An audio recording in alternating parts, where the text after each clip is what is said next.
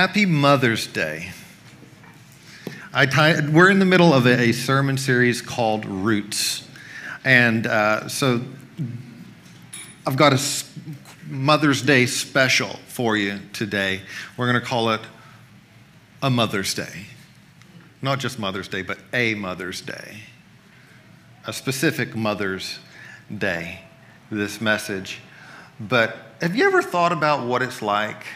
I mean, women, mothers, you already know what it's like to be a, a, a day in the life of a mother. But for those of you who don't, salary.com helps us know the value of a mother. And they haven't updated since 2009, 2018, but I believe that it's higher now than it was then. But have you ever thought about all the roles that a mother actually holds if it were an occupation? Let me list a few for you academic advisor, accountant, art director, athletic director, bookkeeper, buyer, CEO, coach, daycare center teacher, dietitian, educator, event planner, executive housekeeper, executive chef, facilities director, groundskeeper, interior designer, senior janitor, judge and magistrate, laundry manager, logistics analyst, chauffeur, maintenance supervisor, market manager, network administrator, photographer, plumber. Yes. Public school teacher, psychologist, recreational therapist, staff nurse, social media director, tailor, tax accountant, teach vocational, and work life program manager. They do all of these things for our children. And if you were to take the average income of all of those positions and multiply that by the average number of hours they work, which 96 hours I believe to be on the short side of hours they put in to these things for our families, their annual salary would be well over $162,000 a year. Mothers, I appreciate you. And I perhaps acknowledge the fact that I underappreciate you and your value and what you do. Mothers of the little ones here today. Mothers that are here, this is, this is a day which is a, a happy day for many, but can also be a sad day as we recognize mothers who have little ones who are already in heaven. But we also today want to recognize mothers who are spiritual mothers who may not have physical children, but I acknowledge and want you to recognize the influence you have over the people around you. Women, you are women of influence, and you are spiritual mothers. Like it or not, you are spiritual mothers for good or for bad, and I encourage you to be spiritual mothers for good because we lay seeds and we lay foundations. I say we, but I'm not a mother. Uh, you are the mothers, so we honor you today. We think about Mother's Day as a day to honor. And the reality is, it shouldn't just be one day a year. When we really think about it, the day that you became a mother is your Mother's Day. So some of you have many more Mother's Days than others, like the Larsons. Right? um, but it's this beautiful gift to be a mother. So we thank you for being mothers to us. So we're in the middle of this Roots series, and it, it's fitting because we think about bearing fruit and, and what it means to bear a child, understanding that we have fruit to show, and we have fruit to carry, and we have fruit to sow. Uh, and it's important that we understand our roots. It's something that many of us want to know. Where did we come from? And it's gone to the point where people just, you know, spit in a tube and send it off to someone, and then someone tells them this is where you're from. The DNA tests, or we go online to this heritage or familytree.com or whatever the big one is now, because we all have this intrinsic need to know where did I come from? And, and it's something we're all passionate about. And the next movie that comes out that tells someone's origin story, where did they come from? We want to know what our story is. And really, it should be what is his story. And that's what this series is about looking at not just the fruit, but the fruit is because of the root. So we've been looking at the soil, we've been looking at the roots, we've been looking at the fruit and the branches in our life. And here's some key verses that we've been talking from John 15, 5. Jesus says, I am the vine and you are the branches. If you remain in me and I in you, then you will produce much fruit. And without me, you can do nothing.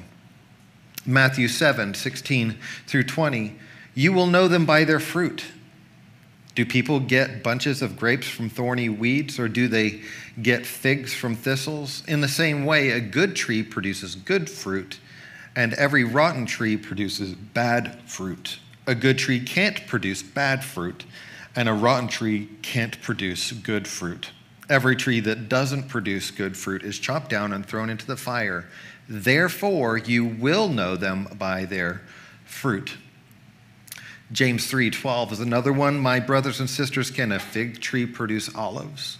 Can a grapevine produce figs? Of course not. And fresh water doesn't flow from a saltwater spring either. What I've really appreciated about this series is that it's provoked conversations after church in families. And I've actually really been challenged by some of the questions that have come back to me throughout the week. And yes, you can do that too. And, and challenged me to dig a little bit deeper on some of this stuff. And I'm like, oh, I guess I'm not a botanist. I already knew I wasn't a gardener, but I'm learning more and more. So I want to share some of these new un- uncoverings and even realizations where maybe I wasn't clear enough or I see scripture even a little bit different. But uh, I thought about uh, the fig tree that when Jesus was leaving, he saw and it had no fruit, and he cursed it, and then they walked by it later and it was totally dead. Um, this tree was alive, but it wasn't producing fruit. It may have even been growing, but it wasn't producing fruit. And I thought it was important to distinguish the difference between the fruit of the Spirit and the work of the flesh is that it doesn't say the fruit of the Spirit and the fruit of the flesh.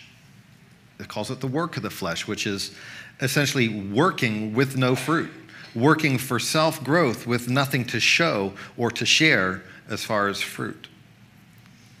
We talked about if the branches, if they are removed from the old tree and they are then put onto the new tree, then it doesn't produce the fruit of the old tree. And I came to discover that that's not the case that in fact, there's a tree in California that has 40 different fruit on one tree. Absolute fact. And, but all of the fruit are of the same kind, the same family. They're all stone fruit, as in apricot, peach, plum. It has 40 different varieties of fruit on one tree. But the difference is that they're all good fruit. So if you was to take a branch from a type of tree that produces fruit, but the fruit are not healthy, and you took that branch and you put it onto the healthy root, it still produces the original type of fruit, but it's producing good fruit, not bad fruit. So it doesn't produce the fruit of the old tree. It does produce new fruit, but it's producing the fruit the way you're uniquely created to be. But that fruit will be the fruit of the Spirit but it's going to be healthy, tasty, it's going to reproduce, it's going to be satisfying, it's going to be good size and good shape, it's going to be free of defect and free of parasite because it's attached to the new vine. Disciples will be known by their fruit. Let me tell you, your actions matter. Living holy matters. Living a fruitful life matters because it's our fruit and our actions that are on display to our kids, to our coworkers, to our guests at church. We talked about how there's a difference between being cut off and cut back. God prunes us because he loves us. And he's removing parts of our life that are taking up energy but doesn't produce anything. And we, he has to make room for the areas that are producing to grow. So, that you can use your provision for fruitful, beneficial growth for His glory.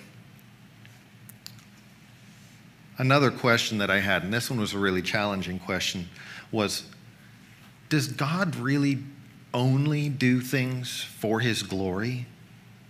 I mean, that seems really conceited. I mean, I, I, have, I struggle with that. Surely He does stuff for love, right?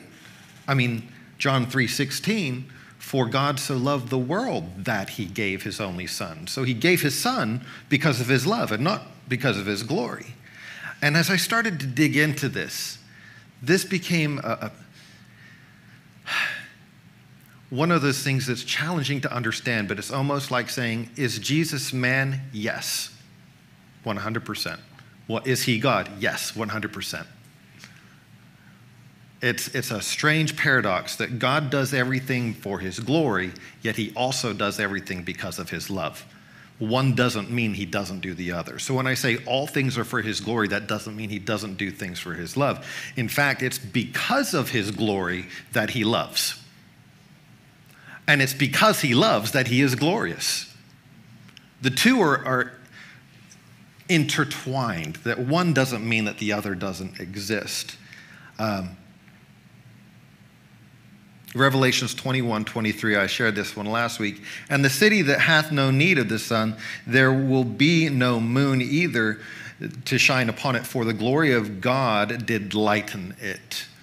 So, in the end, times the city will be lit by his glory. But it goes on to say, and the lamp thereof is the Lamb. So, Jesus, in fact, is the lamp of his glory, the one that's shining his glory. And what is God if he is not love? The Bible says he is love. So God is love, and he has no desire to cut us off. He found a way to graft us in.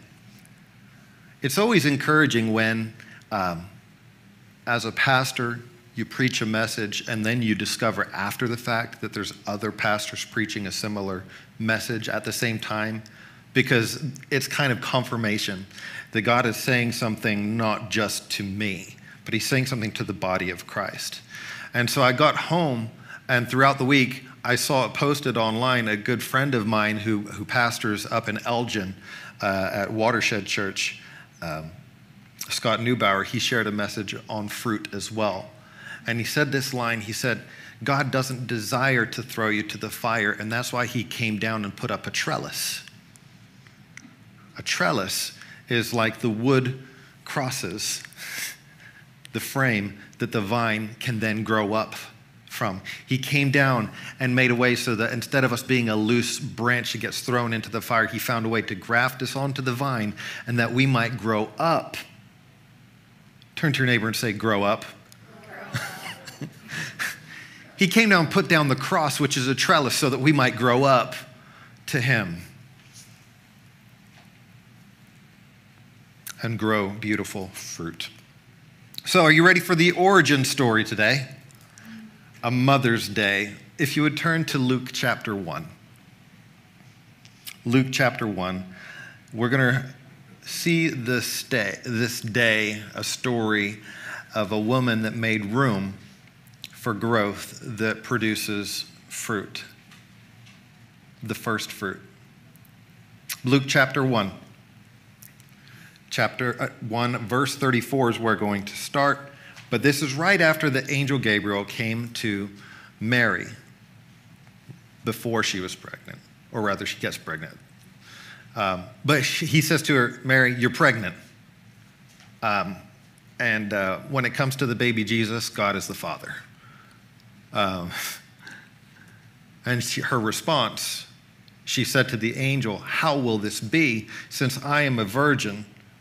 And the angel said to her, The Holy Spirit will come upon you, and the power of the Most High will overshadow you.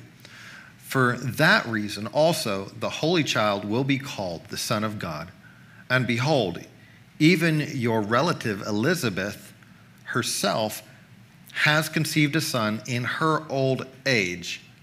And she, who was called infertile, will now, in her sixth month, make a note of that, Six month, for nothing will be impossible with God. And Mary said, Behold your bondservant. May it be done to me according to your word. And the angel departed for her. Now, everyone say now. now. At this time, Mary set out and went in a hurry, everyone say hurry, hurry, to the hill country to the city of Judah. Sometimes God calls us to do things that seem to be impossible. And the question is what do you do when He calls you to do something that is impossible? What do you do when He calls you to do something that is inconvenient, embarrassing, costly? How can this be? How am I going to do this, God? Was a natural response for her, too. And the Holy Spirit was the answer, and an example and a testimony of someone else doing it. Sometimes God calls us to do something simple, to bear fruit, and we don't want to do it. Mary was called to bear the first fruit. The first fruit, which would then become the sacrifice to redeem the rest. But for something to grow, something had to be buried. For a tree to grow, a seed has to be buried. Something has to be given up for something to grow. And this is what we would call a root awakening. She had a massive call on her life, not just to raise a child, but to raise God Himself. How do you do that? You know, obey your elders I'm God. I was in the beginning. no. But the, the moment that the angel came to her is an interesting moment because we don't know much about this young girl beforehand. It doesn't say that after 40 days in the wilderness, the angel came and asked her. It doesn't say that she was fasting and praying and asking God about the direction for her life when the angel came and told her this news. The angel came and gave her this message at a very unopportune moment, an inconvenient moment. You know how sometimes a word is from God? is when it's a time when you know you couldn't have possibly thought it up yourself. Like, I know I never would have thought that up. That's a temptation from the devil. But if it's to bear fruit for his kingdom and for his glory, and it's not something you would normally think of, it could be that God is giving you a calling at an inopportune moment. But she was there and she heard the voice. In the middle of a normal routine day, what was she doing? I don't know, making food, doing the laundry. She was just a normal day to her. And God came down and spoke to her. She wasn't sitting waiting for this audible voice or this light to come. It was a normal, routine day. And I wonder how often the Lord is trying to speak to us in our routine day, but our routine day is so filled and so cluttered and so distracted that every moment that we have where we've got nothing to do, we just, oh, I'm bored, I'm going to flip through whatever pictures on Instagram or what's latest in the news, or instead of having space for Him. Simply, Mary was doing what Mary does. And Mary, in her routine, had space. She didn't have to make space for God to speak. She had space. It wasn't filled with junk or clutter. It wasn't already occupied with something else. If every single minute of your waking life is cluttered and occupied, God could be speaking and you can't even hear him. Or we hear him, but we don't acknowledge him. I'll confess, I do this with my own wife when she'll ask me a question and I'm preoccupied. My response is, Yeah, uh huh, sure, okay, mm hmm. Later on, where are we going? We talked about this. You said yes, sure, absolutely. Come on, man, I'm, I'm not the only one that does that, right? Women, you, you have, right? I would love to see, I would love to see what you can get your husbands to agree to.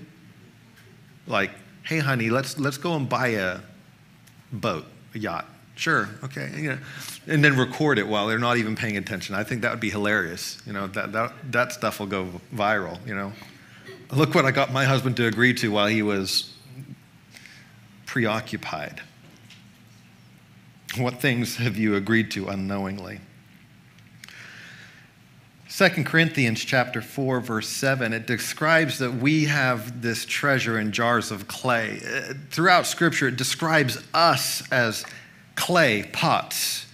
In fact, we're the clay in the potter's hands. Even in the beginning he formed Adam, he formed man from dirt. And then Jesus at the beginning of his ministry as an adult, his first miracle he chose to use a pot to turn water into wine, a jug of mud he chose. I want to tell you today, he wants to use you, even if you're a jug of mud.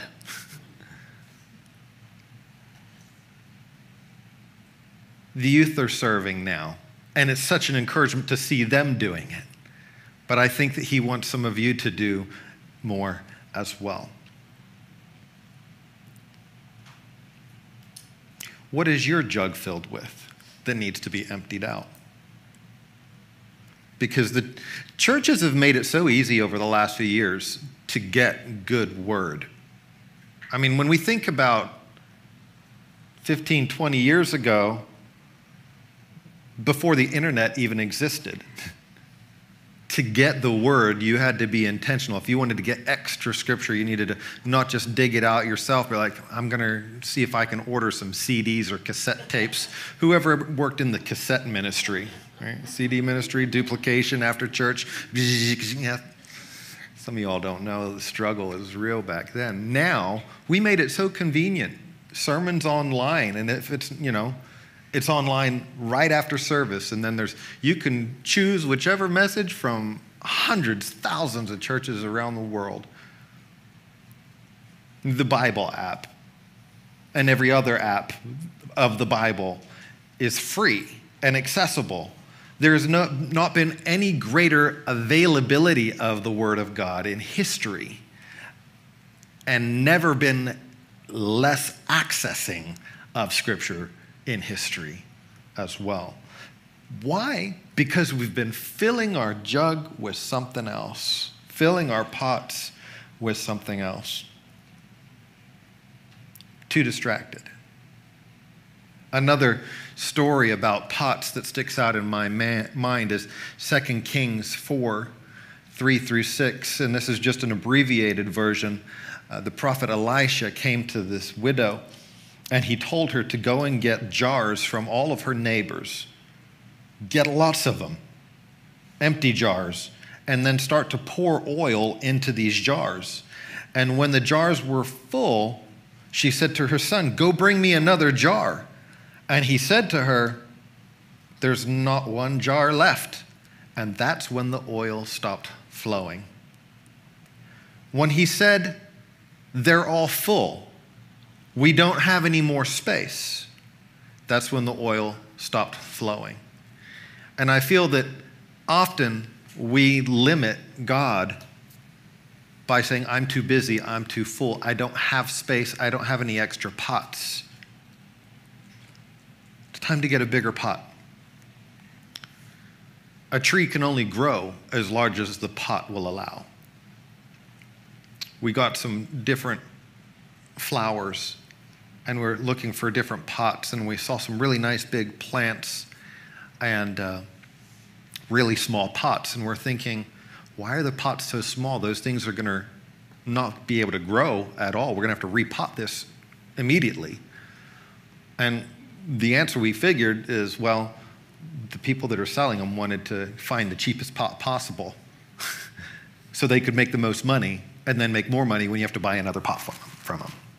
But your reach of your tree is only ever going to go as far as the space you give for the roots. Get more pots, get a bigger pot. Don't try and find the smallest pot possible. God, you can fit into this little pot. I'm going to give you this space from my life. But Mary should let it be with me, as you have said. We, meet, we need to prioritize our space for God first. God first, then family, then your calling and ministry. I want, to, I want to distinguish following God doesn't necessarily mean that your ministry, God and ministry are two different things. My relationship with God is the most important thing, and then my family is second.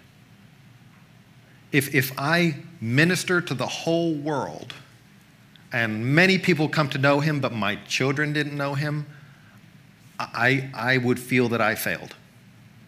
And so if anyone ever says, Stephen, I, I can't be on the worship team, I can't usher, I can't serve at the back, I have a family emergency, absolutely, I applaud you. Your family comes before the ministry. But I want to make sure that while you're gone, you're still connected to God. God, family, calling and ministry. After that, work, your country, your play. These things are all further down, but the top three, we need to make sure we put God first and connect to God first because we need to have roots in His Word.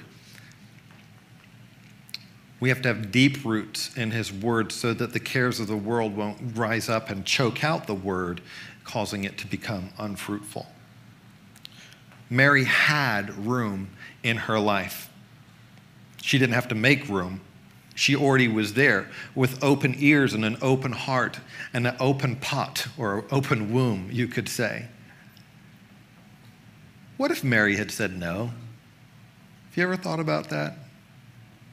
Sorry, God, the cost is too high. What if Mary had changed her mind partway through the process? I found it really interesting on top of hearing this message kind of being shared in different places, talk about roots and fruits, and deciding to do a roots message on a mother and her baby and the testimony from the Pregnancy Resource Center. All of these things falling right at the same time as some certain information was leaked about Roe versus Wade. Is that not interesting to you? I don't know what it means, but I think it means that this is a timely message. There are things that we never, some of us, some of us have greater faith that knew God was going to move on this, but some of us thought, this is just the way it is, it's never going to change, we should have done something back when this all started.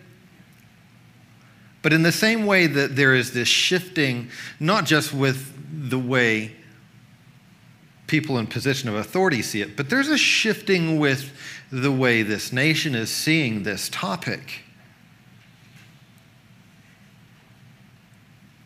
In the same way that Mary said yes to this calling and yes to giving life and yes to bearing fruit, I believe that people are going to start saying yes to the calling that God has on their life yes to bearing that calling, yes to bearing that fruit, yes to the way, yes to the truth.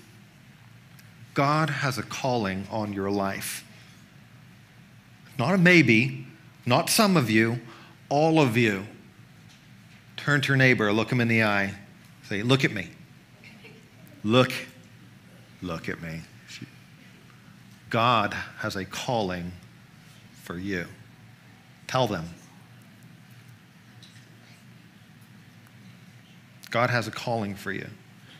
Don't let your response be, ah, but the cost is too high. It's inconvenient. I ain't got time for that.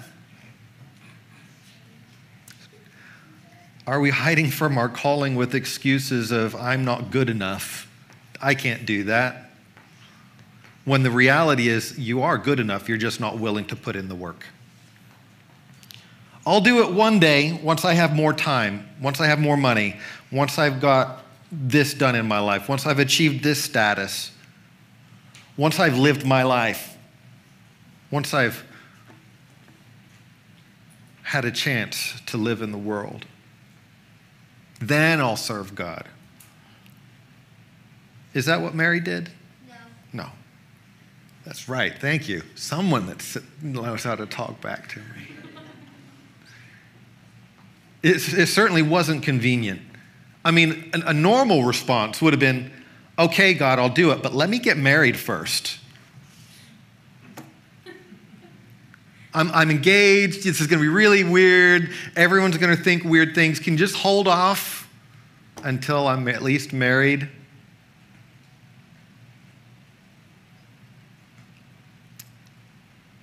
Did she really know everything that she was agreeing to in the beginning? I mean, there's that song, Mary, did you know that your baby boy?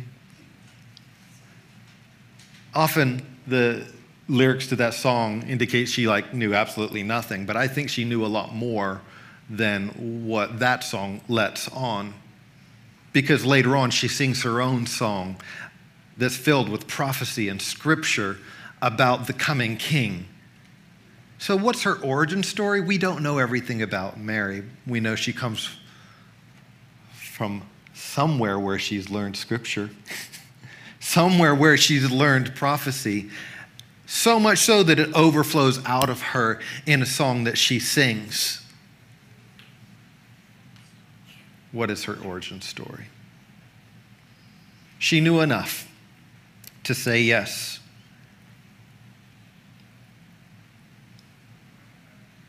she knew enough to know that people were not going to believe her.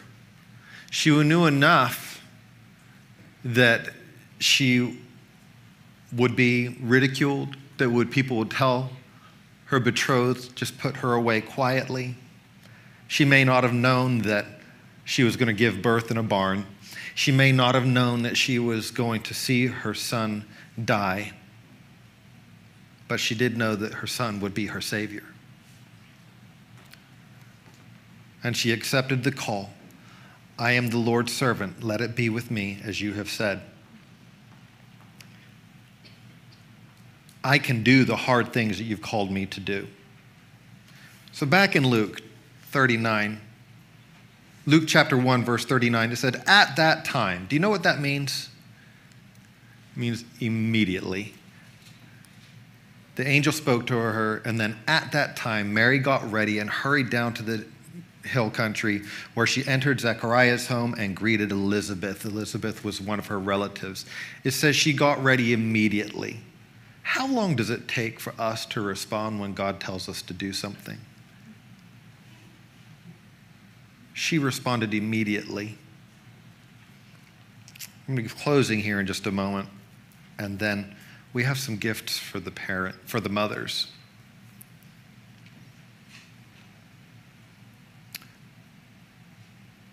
As I say this, God is calling some of you to do things right now.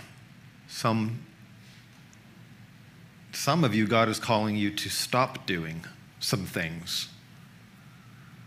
Immediately following service, you should go and do it some of you, should be just go ahead and do it now. It might be throwing stuff out, it might be clearing out stuff you've got in closets, stuff you know you're not supposed to be doing. But others, you know you're supposed to be pursuing something for the kingdom, and you've held off from doing it.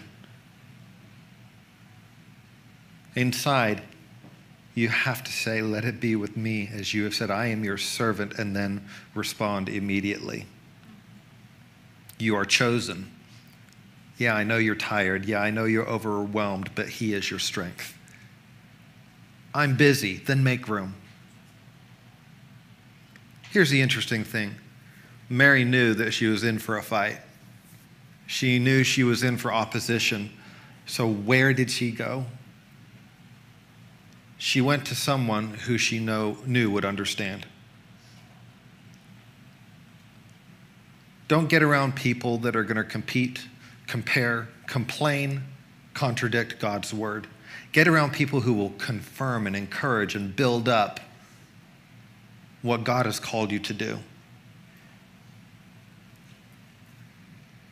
I know the Bible says that women should stay silent, right?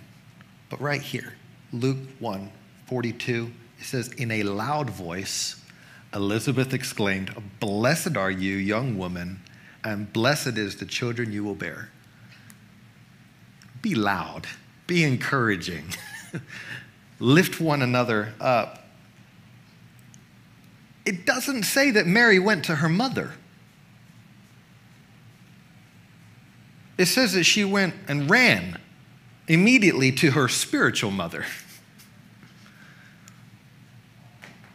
And I want to recognize that there are spiritual mothers here and how important your role is. We don't know what happened to, to Mary's biological mother. Was she dead? Would she have not understood? It's not important. What she did here was she ran to a spiritual mother Elizabeth celebrated Mary. Scripture tells us to be planted by streams of living water. So, Mary, it says that she stayed with her for three months. What was the months that we t- talked about earlier? Six months. Elizabeth was pregnant for six months when the angel came to her.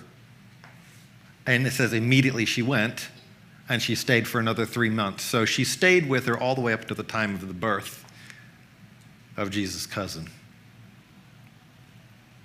But she stayed there. She was planted there. She wanted to be around this encouragement. Living, where does living word come from? Living water come from? It comes from God's word. It comes from his people. His word can come from ourselves. And that's why she turned around and then she started singing God's truth over her. The angel came and spoke it to her. Elizabeth confirmed it, and then she sang about it over herself. She declared it over her own life. Right now, I want you to declare truth over your life. I want you to have truth in roots. Want you have roots in your truth roots, connections, and relationships. Build them up before the storm so that you can hold on to them in the storm. Find your Elizabeth. Be a Mary. Be an Elizabeth. Make room for God's calling. Find your spiritual parent. Be a spiritual parent. Thank you mothers and fathers who are spiritual parents in this church. Thank you. Every head bowed and every eye closed. Heavenly Father, I want to thank you that you have knit us together in the tree of life. You are the vine and we are the branches, and we get to bear fruit and we get to extend out into others and be a blessing to them and them a blessing to us. That we might bear fruit for your glory and your glory is your Son, Jesus, who died for us on the cross because you love us. Your love is your glory, and your glory is your love. As we bear fruit for you in the unique way you've created us and called us with the flavors that we are.